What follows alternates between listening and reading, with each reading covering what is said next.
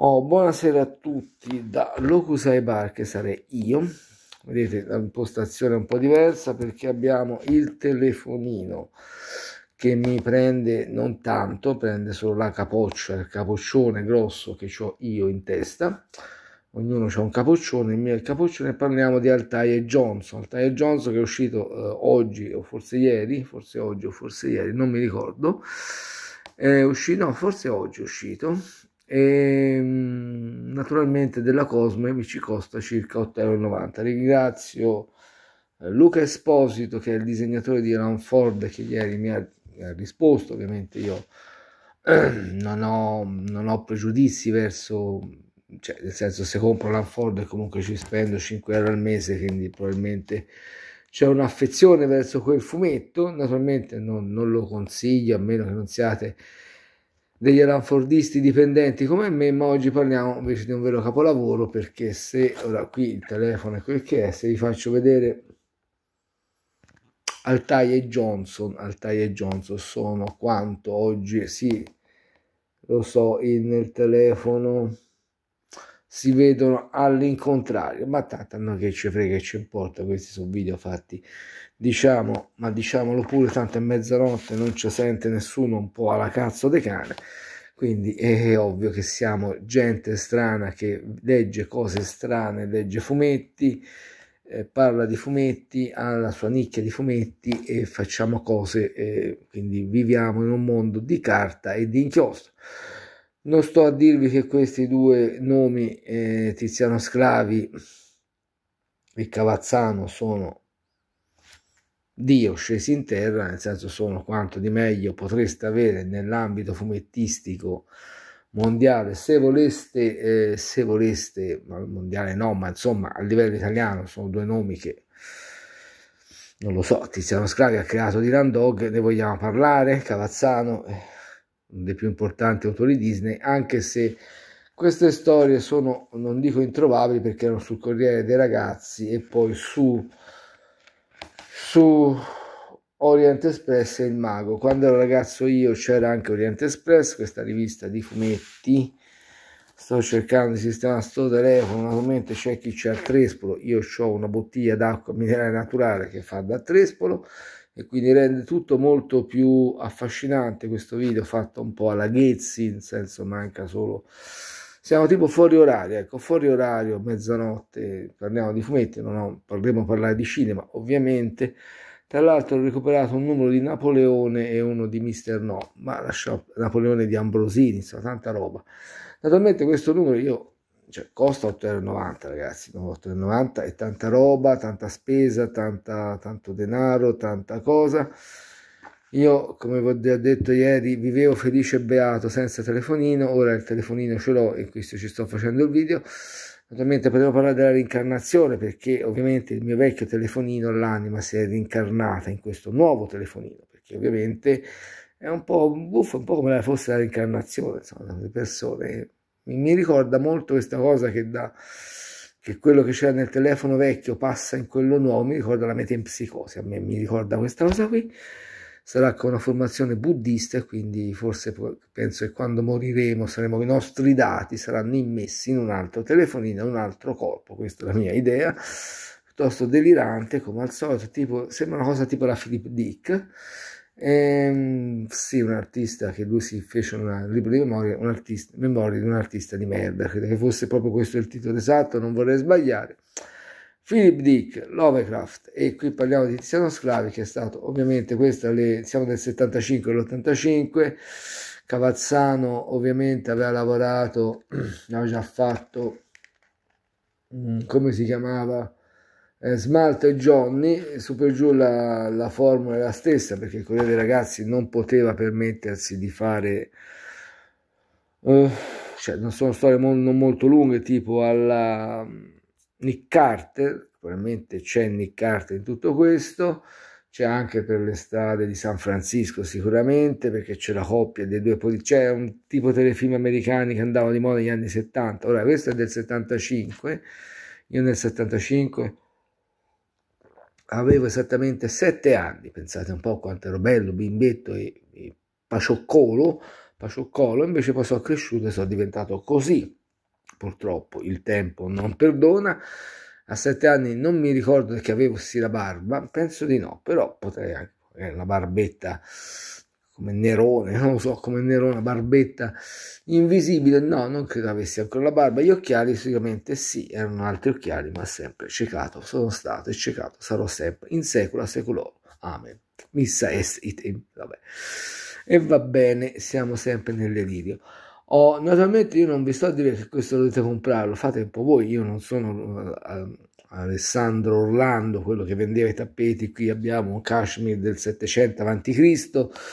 mm, 700 a.C. questo telefonino mi, mi dà un po' fastidio perché mi vedo imprigionato in questo schermo più piccolo. Io preferisco il computer che c'è uno schermo più grande, ma il computer oggi stasera fa le bizze. Ci ho fatto un video, però lo sta registrando, ma l'ha detto prima che mi ci perdo tempo, proviamo col telefonino, poi se non funziona mai col telefonino, eh, andate, item is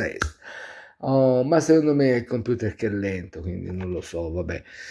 Io ho un rapporto piuttosto enigmatico e fantomatico con i mezzi di connessione di massa. Stavo proprio bene in questi giorni che mi si era rotto il telefono, ma stavo proprio da Dio. No, non vi sto a dire Cavazzano, Cavazzano ovviamente in questi disegni, come ho già detto, ovviamente riprende Uderso di, ora cerco di farvelo vedere, ma Uderso di, di coso, di, di Asterix e naturalmente ehm, quando Sclavi fu messo a lavorare con Cavazzano è ovvio che, che successe che Sclavi aveva l'intenzione di fare una storia un po' seria. Ma i disegni di Cavazzano non implicano cioè è ovvio che Sclavi ebbe la,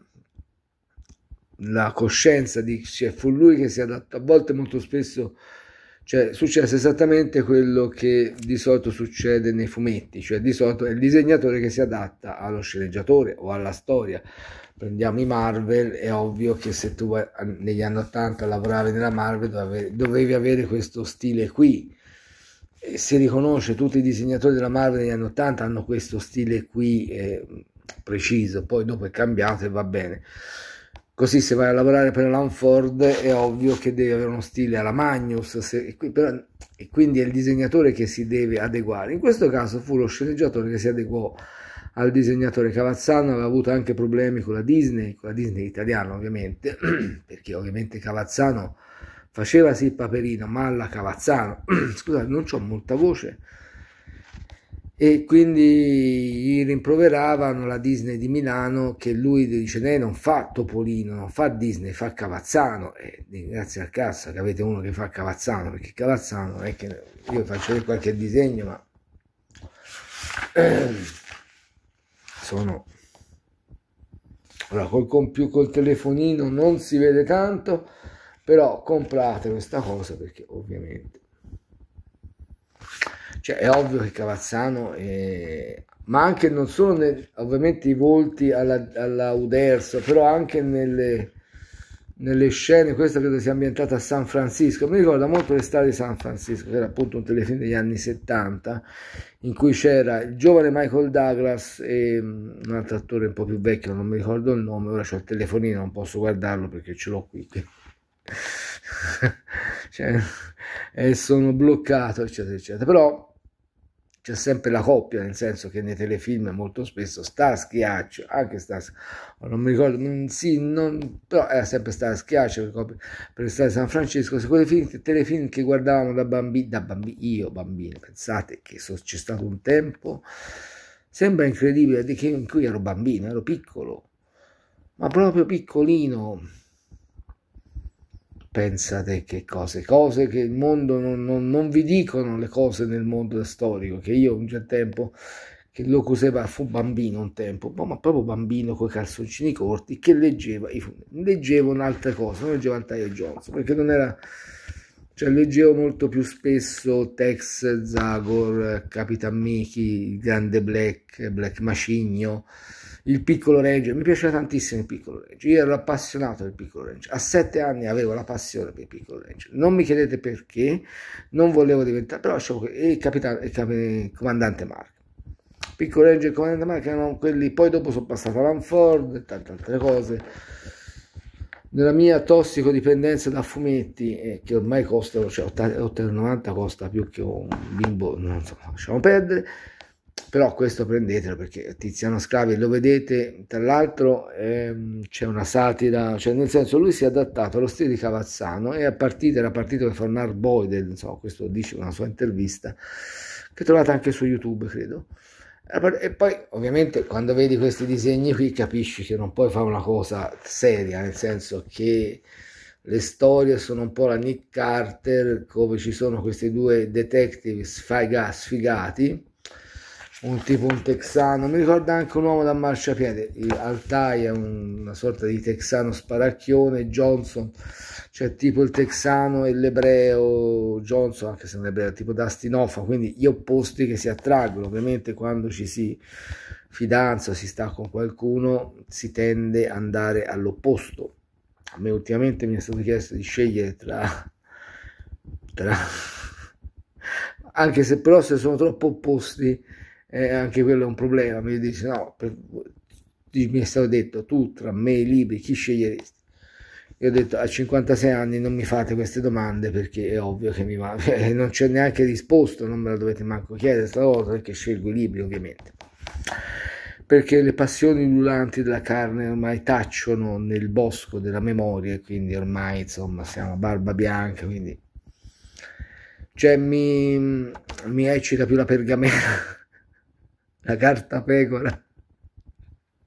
Eh, perversioni mentali. Che la car- carne viva ecco più, anzi la, car- la, carta pecora sapete che i, i, i, libri del medioevo erano fatti con la pelle di pecora che veniva essiccata quindi ha sempre pelle però pelle un po' lavorata quindi a me no io non ho molta carta pecora questo è tutto cartone cartonato questi sono i formigini dietro che non vedete però questo ovviamente va preso perché le storie sono a parte i disegni Cavazzano che ovviamente col suo stile grottesco riporta molto a me mi ricorda molto per le strade di, della California di San Francisco mi sembra di San Francisco. E anche guardate come fa le auto Cavazzano. Cioè io credo che Cavazzano sia stato se fu, avesse lavorato per cioè, se Cavazzano non ha avuto la, la, il successo di Uderzo che ha lavorato per Asterix è perché appunto Uderzo ha lavorato per Asterix, quindi anche un grande disegnatore a volte non è detto che, cioè non è detto che i disegnatori più famosi siano quelli più bravi. Non voglio dire che Uderzo non sia bravo, non voglio dire che alcuni disegnatori americani non siano bravi, ma alcuni disegnatori italiani come Cavazzano in altri contesti anche francesi avrebbero forse avuto un successo incredibilmente superiore. Cavazzano, ovviamente la scuola veneziana, eccetera, eccetera, come Frollo, insomma, di questa scuola che ha dato Natali e Pasquali, battuta alla Groucho Mars tremenda, che, di, per cui se vi disiscrivete a questo canale fate assolutamente bene, ma a mezzanotte non mi vengono più di tanto le battute, eh, non so che dirvi, ecco, per me questo, questo fumetto vale, cioè, non so veramente che dirvi, potete non prendere, io non ovviamente sembra essere Alessandro Orlando che vende tappeti, ma Sclavi e Cavazzano 8,90 le valgono. Lando che ho preso anche Lando, ma non perché poi ci sia, a parte a me Celentano non è che mi ha mai skinfinferato, quindi un fumetto sexy con uno la faccia di Celentano per me è il massimo dell'horror. Cioè a me l'ultima cosa che vedendo Celentano, l'ultima cosa che mi si accende è un desiderio erotico. non, non, non, stimola i miei ormoni, ecco, cioè, no, non, non che abbia un'antipatia per Celentano però Celentano, capite? Nudo, mi fa anche senso, quindi mi fa anche un po' impressione. Anche Lando Buzzanca, perché poi ci, ci mettono, quindi però mi serviva più che altro per rientrare in quella vita da caserma degli anni 80. Io feci la visita negli anni 80 in cui nelle caserme si leggeva Lando, il montatore, quei fumetti appunto, ma mi serviva un po' per ricordare un po' quell'epoca. Naturalmente quando si guardano i fumetti, si leggono i fumetti, si cerca anche di rivivere un po' la recherche de temps perdu, insomma, rivivere sensazioni che, che sono ormai sedimentate nella memoria, ecco, non so che, come dirvelo E no, queste sono, questo è un piccolo capolavoro, per esempio c'è anche una satira molto sul, sul, sulla musica, sulla creazione di star musicali, eccetera, eccetera, insomma. E, ehm, I personaggi sono ovviamente Altai e Johnson, più uno sfigato apprendista Orville che cerca di farsi eh, assumere come guardate questi disegni, guardate che bellezza però ragazzi. No. Come investigatore poi il tenente Ken, che è ovviamente il nemico, c'è, c'è sempre nei telefilm americani il tenente che detesta l'investigatore privato da Humphrey Bogart in poi, insomma è sempre stata così. Naturalmente Tiziano Sclavi lavora molto sui luoghi comuni dell'investigatore privato, però lo fa in chiave ironica. In realtà, ripeto, questa cosa doveva partire, sarebbe dovuta partire come una cosa seria, ma ovviamente con i disegni di Cavazzano è cioè, un po' difficile, a parte alcuni tratti anche molto gotici, Cavazzano gotico, e l'opposizione tra Johnson che parla con i cani, quindi forse c'è un, un futuro accenno a Dylan Dog, il Maggiolino, ricorda altro film, Maggiolino matto, tutto matto, è un film Disney, vabbè, quando ero piccino io guardavo queste cose qui, un Maggiolino tutto matto, un Maggiolino, una macchina che parlava, mi ricordo, insomma, che, che poi vabbè, che, che un Maggiolino che vinceva tutte le corse, e ovviamente il Maggiolino ricorda molto, molto anche poi la macchina di Landog, eccetera, eccetera, quindi un po' queste macchine sfigate che piacevano a Tiziano Sclavo, non so se fosse un maggiolino 500, insomma, non è una macchina, Altai e Johnson non hanno una macchina molto americana, perché questa macchina qui sembra una 500, insomma, non so cosa sia. Non sono un grande intenditore di macchine, ma tutto mi sembra, cioè, gli americani ovviamente dove un paese dove la benzina a quei tempi costava pochissimo, è ovvio che le macchine avevano dei motori che bevevano più benzina di quanto un alcolista anonimo beva vino e, vino e whisky a tutta randa, quindi è ovvio che le macchine, quando vediamo telefilm americani, vediamo, pensate alla macchina di Starsky Hutch, quella color pomodoro, pensate al altro telefilm Boy Duke, Boy Duke, io mi ricordo la cucina Daisy, ricordo onestamente di quel telefilm mi piaceva molto la cucina Daisy, ero follemente innamorato anche di lei, tutti i miei folli amori impossibili. La cucina Daisy che però non era proprio, rappresentava quando si andava a scuola, insomma, quella, cioè c'era in classe o nel liceo quella bella, c'era proprio quella che, stratosferica a cui tu la vedevi come una dea irraggiungibile e naturalmente si metteva col peggio bigoncio, col peggio ramarro del liceo e quindi te partiti, vabbè tendenzialmente eri bello dentro, però quando sei bello dentro hai dei bei polmoni, dei bei intestini, però non, non si evince molto da, vabbè, queste altre storie. Ricordi di gioventù che per fortuna non torna più. Ringraziamo il Dio che la gioventù non torna. Comunque mm, non voglio fare un video molto lungo perché l'ho già fatto, non sono riuscito a caricarlo, quindi caricherò questo, bello. Sì, ricorda molto... Sì, questa sembra una 500, insomma, non lo so una 500 sì, mi sembra proprio una 500 ecco, una 500 per le strade di Los Angeles è abbastanza surreale nel senso non... sì, la Vespa ecco, nasce anche quella come oggetto italico ma poi ha avuto un grande successo anche negli Stati Uniti mentre noi andiamo con quei tricicli elettrici che sono veramente vergognosi e, stam- e stamposi Naturalmente questo io ve lo consiglio caldamente, potete non comprarlo, fate un po' voi, a me non me ne può fregare una cippa, siamo tutti amici eccetera eccetera, scusate questo video fatto un po' alla buona, un po' là, però questo ve lo consiglio, ora domani non so con cosa registrerò, forse con un vecchio macinino, mi hanno prestato due francesi, si chiamano, sono due fratelli, Lumière, mi hanno prestato un nuovo strumento che loro chiamano cinema per registrare, vi ho detto guarda usa questo che è la fine del mondo, l'ultimo modello in fatto di televideo e telemarket. Ebbene sì, questa naturalmente siamo al 1683 sono video, alcuni lo facevo anche con, con il telefonino, però l'unico problema del telefonino che mi siccome a specchio i, vabbè comunque bene tutto specchiato quindi va bene ve lo piate così Naturalmente c'è anche un leone in questo, in questo vabbè, giocatori di... Questo veramente ricorda molto a me l'estate di San Francisco, mi ricorda molto quei telefilm quei telefilm. Vabbè, coccodrilli e leoni è ovvio che sono storie assolutamente surreali. E nella loro surrealità una giornata tranquilla appunto con Orwell che cerca di costruire un mitra eccetera eccetera. Eh,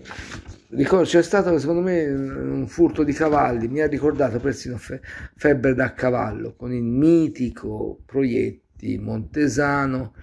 che ovviamente fanno un gruppo e Aldo, Aldo Celli come si chiamava? Quello che di, di, no, di Tazza, di Sandokan che faceva il giudice eccetera eccetera. Di amici miei. Che tra l'altro aveva fatto attore e regista in Brasile prima di tornare in Italia e dedicarsi a Sandokan e Febbre da, no, Febbre da cavallo, sì sì, ok. Oh, ho degli avvisi, ma io finirei qui questo video e vi lascerei vi augurare la buonanotte perché c'è mezzanotte e 20 e io me ne andrei a cuccare.